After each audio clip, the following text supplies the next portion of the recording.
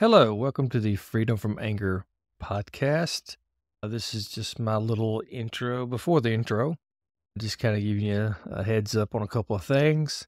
I did finally get around to updating my website. So all my social media links are there at the bottom of the homepage. Check that out. It's freedomanger.com. It's got my contact information. If you want to reach out, talk to me that's the easiest way. Shoot me an email. Also, if you have any ideas for topics or guests, that's the way to get a hold of me. Um, sent out several emails today to some potential guests. So hopefully get this podcast fired back up and get a few more episodes out there rather than I think I've been averaging maybe like one a month so far this year. So I'd like to at least double, possibly triple that before the end of the year. But all right, well, that's pretty much all I got to say. Hope you enjoy this episode. I'm still using the AI editing. And if you don't like it, let me know. I'll go back to the old slow way of doing things. But yeah, anyway, well, hope you enjoy. And as always, uh, stay safe. Hello, welcome to the Freedom from Anger podcast. I'm joined today with Braca Goetz. She is an author that has written many children's books. And uh, today we're going to talk about the pleasure ladder, gratitude. I'm very excited for you to be here. Braca, how are you doing today? Thank you so much. We had a chance to talk briefly a couple weeks ago, and you mentioned something called the pleasure ladder. I never heard of that. So, could you kind of expand on that a little bit? Yes, I love sharing about the pleasure ladder because most people have never heard of it. And it changed my life. I think it changes the life of everybody that learns of it. So, there's five levels to the pleasure ladder, and it corresponds to our five fingers because the message is we have the power in our own hands to bring joy into our lives at any moment. That is what I did not know. That is so significant. And the, our hands can remind us of this all the time. It's within our power. The five levels, they also correspond to the five levels of the human soul. And the lowest level of the soul is the part that's attached to our bodies. So when we experience any natural thing with our senses, like healthy food or being in nature, moving, dancing, gardening, swimming, or music, like all these things, when we experience any of them with gratitude, then it nourishes our body and our soul. That's the lowest level of pleasure. And if you go up, the next level is love. How can love be totally empowering? It's dependent on somebody else. This is coming from ancient mystical wisdom. So, the ancient definition of love is focusing on the virtues of another. What do you value about somebody else? That's the definition of love. So we can bring that into our lives at any time. Like even in prison, a person could focus on like a grandmother that once did a kindness for them and instantaneously they get a warm emotional feeling that lifts them up and can inspire them. So we can bring the pleasure of love into our lives at any moment, even with nobody else being present just by focusing on the virtues of another. The lowest level is connecting to a physical, natural thing, appreciating it with gratitude. The next level, appreciating another being. And the third level up is called meaning, doing something good and meaningful in the world that brings us each, level brings us more connection a deeper connection into the world because like when we are in addiction in active addiction we feel disconnected we feel estranged lonely or cut off. So, what we need is connection. That's what we're really looking for. So, this brings to a physical thing, to another being, and then giving back with gratitude. Doing something meaningful that brings us even greater, more lasting pleasure. And what's even higher than that? Oh, a great example of this is like I was on another show and I was up to the level of meaning and uh, the host said that he had just finished eating two slices of pizza. There was a knock at his door, and his neighbor needed his help for two minutes. After he helped his neighbor, he came back and he didn't want the rest of the pizza. He didn't need to because he just filled up right that minute. He filled up with gratitude that he could help somebody else. He connected. He put the rest in the fridge for the next day. That's how much it fills us up right away. So, higher than meaning is really interesting. It's creativity. It's when we put a unique part of ourselves into the world. Get on a high when we are being creative, like we don't feel like eating or sleeping. We get into a zone where we're not even aware of time passing. So that's an even more lasting pleasure than all the other levels. And the highest level of all is called transcendence. It's when the separation, everything kind of just dissolves and lifts. We, we recognize that we're connected to everybody and everything, and we're all connected to the same source energy. It's that state of awe and wonder about the world. And it's a sense of unity it's also when we transcend our own limitations, like that moment when we make that first crack in a bad habit, we begin to break an addiction. We're transcending the level we were at before, and we're returning to our core being, the essence of who we really are. So, those are the five levels of pleasure.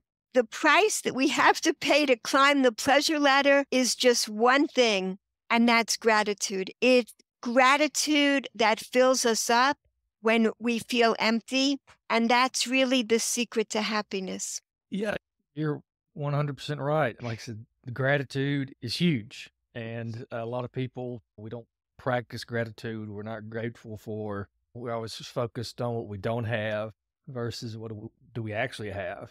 And, yes. And then when, if you're dealing with somebody that's fighting an addiction, and there's that disconnect from other people and not a lot of gratitude uh, being thrown around. Yes, exactly. So, like, that's why I write children's books too, because I love teaching this to children in as early in life as possible so they don't have to play catch up like us. You know, we learn these things later on in life and it's harder, but we could still do it practicing gratitude gets easier and easier the more you do it. When you begin to do it, it feels weird. It's like awkward. But the more you do it, it creates more gratitude pathways in your brain. Like when you travel on a road that hasn't been traveled on, it's very hard, it's very gravelly. But once you get those grooves in it, it gets easier and easier to be a grateful person with anything, the, more you do it, something become a habit. And especially if you're in, in recovery, it's like we always tell people, it's first couple years, that's the toughest. And even after that, you still got to watch what you do. And it ain't all sunshine and rainbows once you hit the two year mark. But so the pleasure ladder, how did you come about learning about this? Yeah. Well, I was suffering from food addictions. It was fluctuating between trying all these diets and then having these uncontrollable binges. It really is like being in a prison. That's what an addiction feels like. And it's as if the walls get narrower, narrower as you get more deeply into it. And the behaviors get more and more bizarre. Everything's done in secret, so nobody knows how you're suffering. I look successful on the outside, but inside I was suffering. And I really wanted to to know what the purpose of life was because I really didn't feel like going on like that. It was just a horrible way to live. It it took up all my mental energy, my physical energy. It just absorbs you. So I was searching. I finally, luckily, I was searching for spirituality. And when I finally found this ancient wisdom, which is actually a Kabbalistic teaching from my own heritage, which I I did not even value or and I didn't learn about it as a child. I was so grateful. So that's when I began writing children's books to share this and and and also I share it with adults and it just as it changed my life I'm I love changing other lives as well to recognize that there's no scarcity of pleasure in this world because I felt such a scarcity. Like that's why we overeat or drugs or alcohol to get that immediate pleasure to keep lasting. We just keep stuffing it in and it, it, it, ends up we end up emptier than ever afterwards because it, it doesn't fill us up long enough we want the pleasure to keep lasting learning gratitude is a way to actually keep the pleasure throughout your life once you learn these happiness skills. Yeah. And you're in control. That's it. I didn't trust life. I didn't trust myself. So then, when you recognize that that's really the purpose of our being here to enjoy this world in gratitude, and many people who have had traumatic childhood or they suffered from abuse or neglect, they didn't get the compassion that they needed as a child. So we can learn to give ourselves that self compassion through savoring and lingering in gratitude. And that the more we enjoy that, then we get used to it and we can live lives of giving to ourselves this joyful compassion. Yeah. And you got the five levels the physical, uh, gratitude, love, meaning, creativity, then transcendence. Yes. But like you said, the gatekeeper for all these is that gratitude. Yes. I'm a firm believer in a lot of my clients I worked with over the years. I always suggest starting a gratitude journal. As soon as you wake up in the morning and write down two or three things that you're, that you're grateful for and try to help you get started the day on, on a good note. Yes. And I had another guest, and his practice was I'm trying to remember, but he would write down two or three things he was grateful for, and then he'd write down a couple of things that scared him or something that he wanted to work on. And that's how he got his day started. But yeah, I mean, it comes down to us. It's our choice whether we want it or not. We can't find it through other people or money, or I know plenty of people that have lots of money and they're miserable. Yes, so. absolutely. Yeah, money, fame, power. Like we think prestige, we think these things will bring happiness, and we know they don't. We see all these famous people, we know that that's not the answer. It's so much more simple. So, like you were saying, I never had a gratitude journal, but I know that that's an effective thing to do. Like, I heard of a recent study where they saw that people that won a lottery, a million dollar lottery, six months later, they had the same level of happiness as beforehand. And like if a person, God forbid, became paralyzed, six months later, they're at the same level of happiness they were beforehand. What happens to them doesn't, it's not what changes you. But people that kept a gratitude journal, six months later, they were actually at a higher level of happiness set point. Like they were changed. It's not those events that happen to you, it's developing the skills from within. Like you said, that is what changes you as a person so that you can actually go on and live a happier life. With addictions, we try desperately to fill the hole within with, and it's not a physical hole. It's a spiritual hole. And what fills it is gratitude.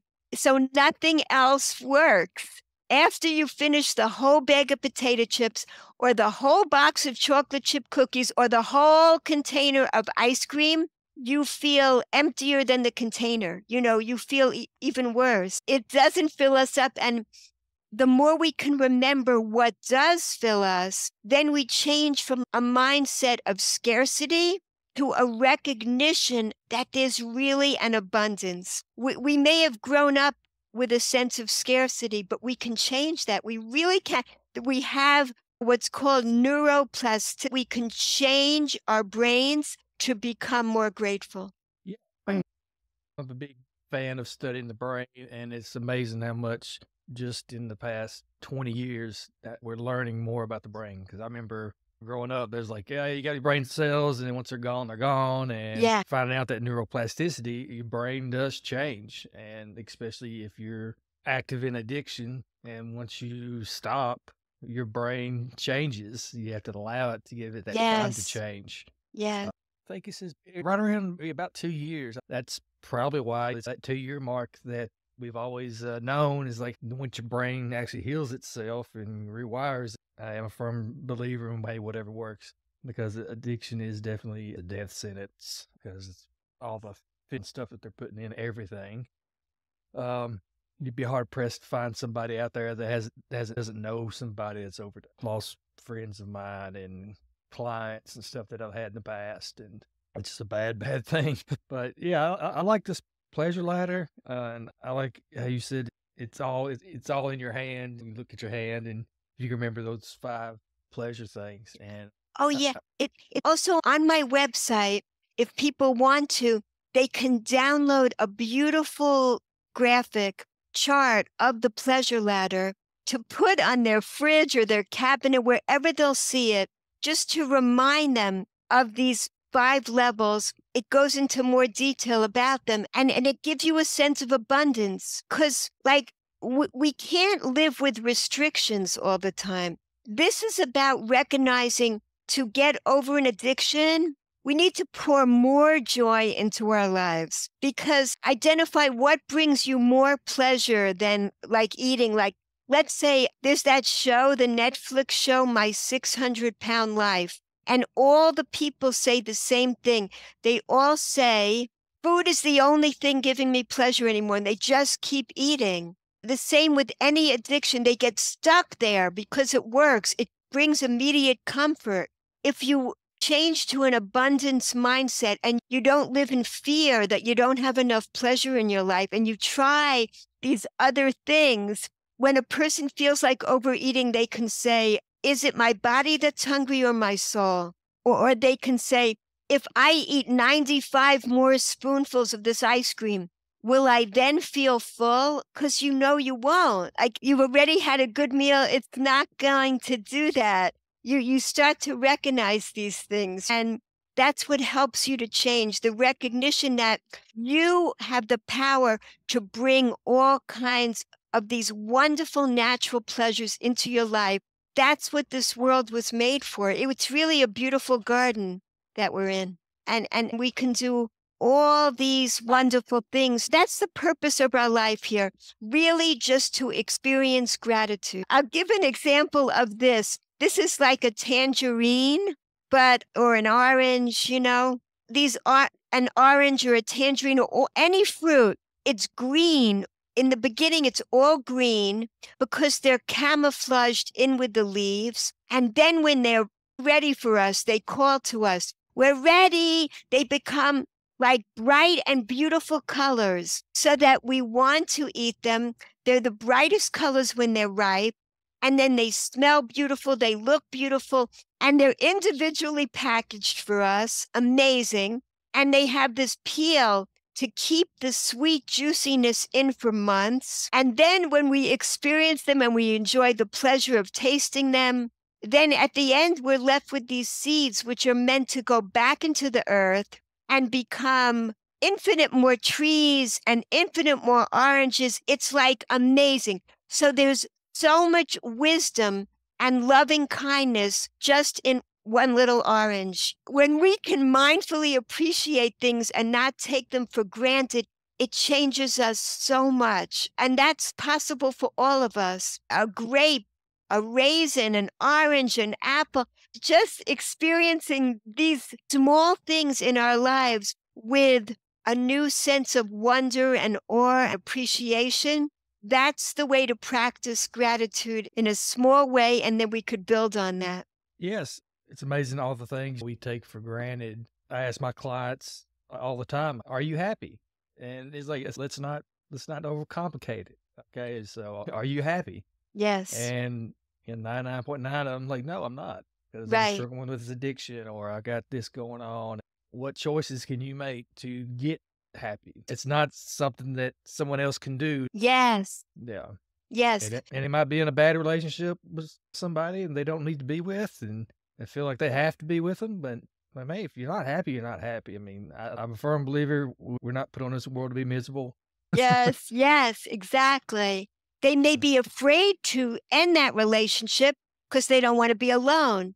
They're compensating for what went on in their childhood. So that's why the more we can bring compassion into our lives through these gratitude experiences, through moments, the more we won't want to continue with abusive relationships. It doesn't mean we have to be grateful for abuse. No, it gets us used to giving ourselves self compassion so that we become more used to that and we're not willing to put up with behaviors that are abusive or that we shouldn't be involved with. We get used to filling our lives with more pleasurable experiences so that we have more clarity too and more respect for ourselves and we begin to feel more worthy.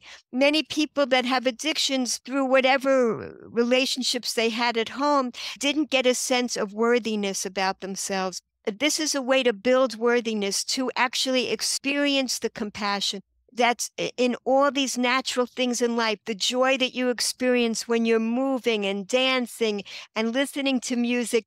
There are so many natural pleasures in this world to get out and spend more time in nature. These are things that you've heard that bring happiness but now you can actually understand why they do because they were designed to actually fill up our soul on earth. Th- these were designed for our pleasure. Like it could have been, it could have been that we didn't even need any of this food and we didn't need food. But no, all these things were given to us on purpose to bring us pleasure in in like the best way possible. So many varieties of apples and oranges and nuts and all these amazing things. It wasn't necessary. They were all created out of out of infinite loving kindness for us and wisdom. Like the wisdom in a seed is unbelievable if you think about it. So not taking things for granted when you begin to take those first steps it's it's just really a transformative way to live yeah And going back to being in unhealthy relationships, and I like the book, The Four Agreements, Don Miguel Ruiz. And he says in there, and he's like, we'll allow someone to abuse us to the level that we abuse ourselves. That's a good and, point And I use this example all the time. It's like, okay, let's say I abuse myself to a seven, then I'm going to put up with somebody abusing me uh, to a seven. yes But if they go 7.1, then okay, we got a problem. yes So I always to my clients is learn to love yourself. Where you maybe only abuse yourself to a two. Somebody comes in at a seven, you'll you'll spot them ten miles away yes run, get away from them. Beautiful, beautiful. And that's how we start to love ourselves. Lingering, saving these moments. It's you start very basic, very simple. You start looking at flowers, looking at the trees, going to the ocean. You start appreciating your own breath. You know, the pandemic, I think it was a huge push forward for all of us spiritually.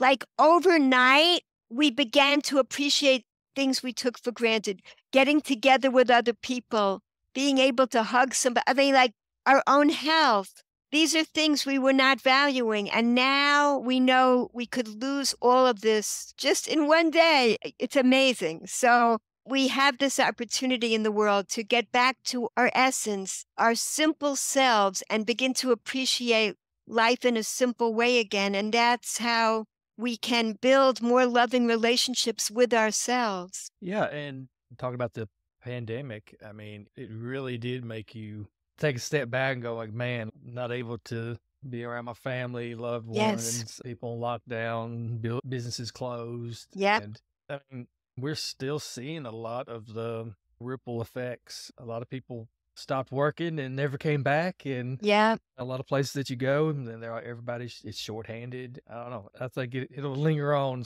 some more, and hopefully, knock on wood, we don't have to go through uh, all that again. We learn something from it. Yeah. Not to take everything for granted. Yeah. We can lose it in a minute. There is so much to be grateful for. Mm, Are correct. Uh, but I highly recommend anybody start a gratitude journal. There's tons of them online you can download, or I'm sure there's a journaling app or something that you can use on your phone. Take something like the pleasure ladder, take a picture of it on your phone, make it your screensaver. That Right. way, because you look- Right. how many times people look at their phone in a day. Yeah. That's what I always tell a lot of people that I work with that are incarcerated. Put a picture of a jail or something. That way, every time you look at your phone, like, okay, well, I got to keep things straight because uh, I don't want to go back to this. And I used to give them a, they had like the sheriff's department star, a picture of the bunks, and a picture of the food. I said, just this little reminder. I said, just put it somewhere in your house. Yeah. I don't want to go back to that. Yes. All addictions are prisons, literally or just in your brain. That's where you are. Exactly. Breaking loose is freedom. It's the freedom of your soul over, you know, that you regain your core real self again, not the addiction. The addiction is no longer controlling you. It's your soul that gets to enjoy life again. It gets revived. For me, the world turned completely gray and, and, breaking out of that, all the colors came back. That's what it felt like, like the Wizard of Oz movie, where it's all black and white and then it gets colorful. Mm-hmm. That that that that's what it felt like for me. I I, I want that for everybody. Yeah, because we're always chasing that chasing that pleasure, and we think that alcohol, drugs, sex addiction, or whatever addiction that you have, food, and we think it's gonna last. Our clients, I'm like, you can take all the drugs in the world, you can't stay high Yes. twenty four seven, and Right. you got to figure out where's your happiness. Yes. And to overcome a habit, you need a greater and more lasting pleasure to sub in. It actually fills you up in the greatest way. That's what people need to experience more and more. They've been through pain and the drugs, the food, all this covers up that pain. Initially, I have this image. We are like this soul. We're shining. And when we go through pain, we put coverings over us. And then we can't even feel that we're still shining. We don't even feel that our soul is still shining. We need help from people like you that assist people to help remove those levels. We need support, you know, get that get that soul shining stronger and stronger so we could feel it again. And that's through gratitude. Gratitude is what fuels the soul to to begin to shine in life again. Being thankful for the things that we have, and not everything's gonna go your way, and you're gonna have good days and bad days. Right. But there's always that silver lining. There's Yes. always something that you could turn a negative into a positive. Yes. Yes. And I'm a firm believer in I think that the words that we use, whether it's in our heads or the words that come out of our mouths, are huge. And just changing one or two words. And I had a, a guest on, and he had a, an amazing story where he, he was like paralyzed out of nowhere. They had to figure out. I mean, he's fine now, but uh, he said the way I viewed it, he's like, it didn't happen to me; it happened for me. Yeah. He said because I started to look inward. He's like, I ended up writing a book, and now I think he's doing TED talks and stuff. Yes. And it all came from him getting sick, just out of the blue. Very, very interest, interesting story. yeah. And But anyone suffering from an addiction is sensitive soul. You know, that's why you're aware that you need more pleasure in your life. That's why, but we don't know how to really bring it in. So, you know, and anyone that's gone through addiction, like that person, whatever they've been through, they can use it as a tool to help other people. And oh, the same with anybody in recovery can begin to help other people. And that helps them to shine more too by doing that. yeah, and that's why with the twelve steps, uh, giving back, it feels good. Yes, Trying yes. to replace it, helping other people, helping people that have gone down similar roads. I mean, it's never going to be exactly what you went through, but Ex- you can still uh, reach out and help. Yes. Um, yeah, I, I've been lucky enough to know that uh, some of the people that I've worked with, they get out of jail and they go to halfway house and they end up working at the halfway house. Yes. You know, and I, yes. I saw one this back when everybody was wearing masks and stuff during the pandemic. yeah. So I go out into the the front lobby and this guy says, "Hey, Mr. Clemens. He's like, Do you remember me? I was like, Well, I, I can't see your face. And he said, He said, Oh, don't worry. He's like, I'm here to pick up somebody and take them to the halfway house that I work at now. I said, It feels good to help people, don't it? And he's like, Yeah. Beautiful. Beautiful. Yeah. All right. Well, thank you so much for being on, Miss Goetz. Please check out all her books. Oh, yeah. www.goetz.com. And Goetz is spelled that funny way. Yeah. So G E T Z. And all my books are there, but also you could download a free copy of The Pleasure Ladder. Really important to just about everybody, I think. Yeah. And her, her books are available Amazon. She's got several. So if you got kids out there and they all got good reviews, so I'm guessing they're good books. I'm teaching children early on these skills how to be a grateful person. When you begin life like that, to see the world through joyful eyes, it makes all the difference. Yeah. Well, I think what you're doing is amazing, and uh, you're right. Try to get to them young. Thank you so much for being on, and I'll definitely put your website in the description. Probably do the Amazon link. That way, if people are interested, then they'll go and uh, check out all the good work that you're doing. Thank you so much. Thank you for the wonderful work you're doing. Thank you so much.